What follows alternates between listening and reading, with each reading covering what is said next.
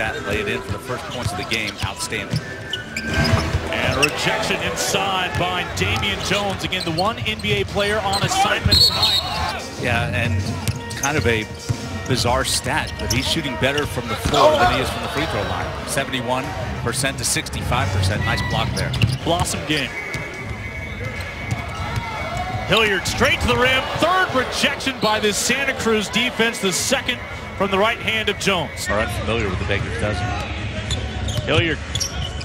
They dish on Charles. Partially blocked from Sutherland from behind. Looks good so far. Yeah, Costello's been one of their top guys, averaging almost a double-double with nine rebounds a ball game. And we see him looking for another offensive rebound right there in this opening half. Point blank range. You don't see him miss that very often. Nice block. Hamilton, who was dishing it earlier tonight with five assists in the opening quarter alone, can't finish. Also, team seen time with San Antonio and the Clippers in the summer league in his career. Hilliard finds Sean Charles and Livio can't finish. One on one.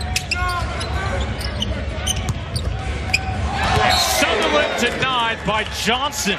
Denies the six foot eight James Sutherland. Jones with a nice pass, but coming from behind.